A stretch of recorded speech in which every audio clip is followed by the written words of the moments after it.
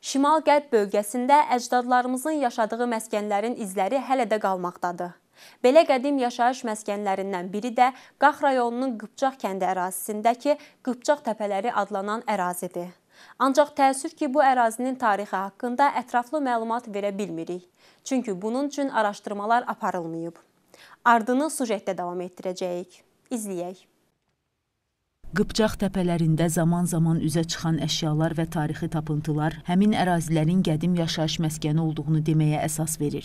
Ətrafda yaşayan sakinlər deyir ki, əyri çayın kənarındakı təpəliklərdə gəzərkən qədim saxsı qab və şüşə qırıntılarına rast gəlmək mümkündür. Ərazidə yerləşən qədim qəbristanlıqdakı qəbir daşları və qəbrüstü abidələr də buranın qədimliyindən xəbər verir.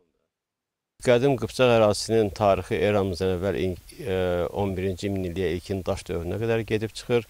Gördüyünüz, arxa tərəfdə gördüyünüz şuplar Elmlər Akademiyasının Şəki filialının əməkdaşları tərəfindən qazılmışdır və burada e, ilkin daş dövrünə uyğun olan və o dövrdə dövrdən üzübəri olan e, müxtəlif saxsı qırıqları, mikroritlər üzə çıxmışdır.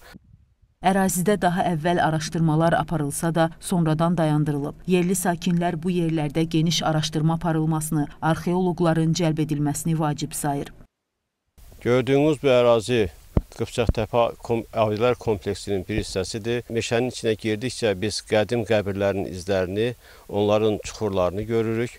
Yusuf Sultanlığının nümayəndələrinin biri olan İsmail bəy Bəşirbəyoğlu Sultanovun da qəbri buradadır və burada yeni qəbirlər də var Qıpçaqların dəfn etdikləri və əminəm ki, bu ərazilərə səfər edənlər burada qədim Qıpçağın izləri ilə tanış ola biləcəklər.